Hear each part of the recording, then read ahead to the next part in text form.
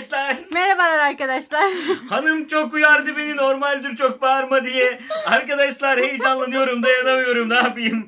Arkadaşlar yeni çerçeve takvim programımız açıklandı. Evet evet evet yeni başlıyorsunuz biliyorum siz de çok heyecanlısınız. Hocam biz ne zaman kavuşacağız okulumuza diye soruyorsunuz.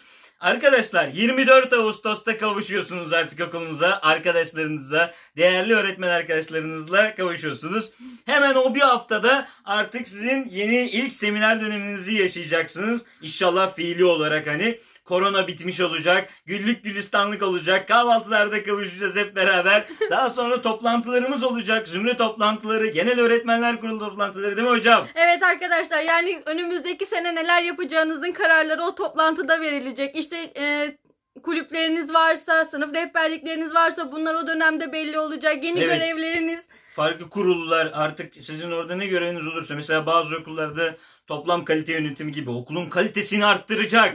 öğretmen tedbirleri alınacak. Yani sizin de değerli fikirleriniz çok önemli arkadaşlar Ya da belirli için. gün ve haftalarda hangi öğretmenler görevlendirilecek. Evet yani mesela çok farklı törenler yapanlar oluyor. Bizim Mevlana haftasında bir tören yapmıştılar. Semazenler dönmüştü falan yani. Ee, böyle farklı fikirleri olan yepyeni dimalar, yepyeni hocalarımız, genç kaliteli hocalarımız sizleri bekliyor okullarımız. Evet bu şekilde arkadaşlar ilk haftanız yani bir hazırlık haftası gibi olacak. Her sene böyle oluyor yani arkadaşlar. Verimli bir hafta olduğunu çok düşünüyoruz. Daha sonrasında ise hemen ardından hızlı bir giriş yapıyoruz seneye. 3 haftalık telafi programımız başlıyor. Evet evet evet. Öğrencilerinizle yani arkadaşlar sıkıştırılmış bir eğitim süreci geçireceksiniz ilk 3 haftada.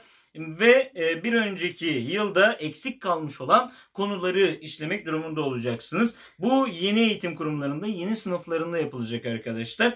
Dolayısıyla o hızlı girişle seneye başlıyoruz. Yani 8. sınıf öğrencileri kendi bulundukları liselerde ya da 5. sınıf öğrencileri yine ortaokulda alacaklar arkadaşlar bu telafi eğitimlerini. Bu şekilde ayarlanmış. Şu anda yazıda bu şekilde yazıyor. Evet 31 Ağustos'ta bu telafi programı başlıyor. 3 haftalık ve daha sonrasında da normal seneye başlamış oluyoruz. Arkadaşlar peki bizim seminer dönemimiz kaç kere var hocam? Ne zaman var hocam diye soruyorsunuz. Toplam 4 defa seminer Evet. dönemimiz var arkadaşlar. Öncesinde 2 taneydi. Biri sene başında biri sene sonundaydı. Şu anda bir sene başında var. Birinci dönemin ortasında var. ikinci dönemin ortasında var ve sene sonunda var. Yani Hepsi de toplamda birer, 4 defa, tane. birer haftadan oluştuğunu düşünebilirsiniz arkadaşlar. Bir hafta sene başında, bir hafta birinci dönem ortası, bir hafta ikinci dönem ortası ve yaklaşık bir hafta da senin sonunda oluyor. Ama yani senin sonundaki değişebiliyor. takvimimiz 30 Haziran'da bitiyor arkadaşlar. Yani çalışma süremiz. O yüzden 30 Haziran'a kadar seminerler devam ediyor. Bu sene nasıl salı gününe kadar uzadı. Hı hı. Çünkü 30 Haziran salı günüydü.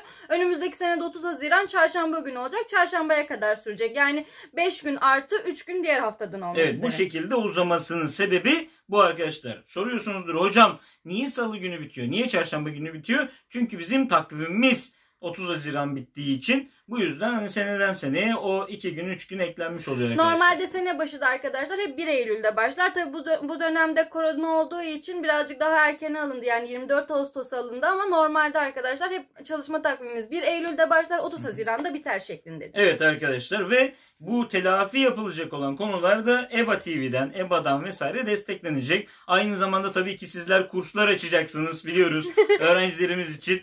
Hani hafta sonlarınızı feda edeceksiniz Yani biliyoruz bazen. olabildiğince faydalı olacaksınız Evet. arkadaşlar. Ya yeni öğretmenlerimiz maşallah gümbür gümbürler sağ olsunlar.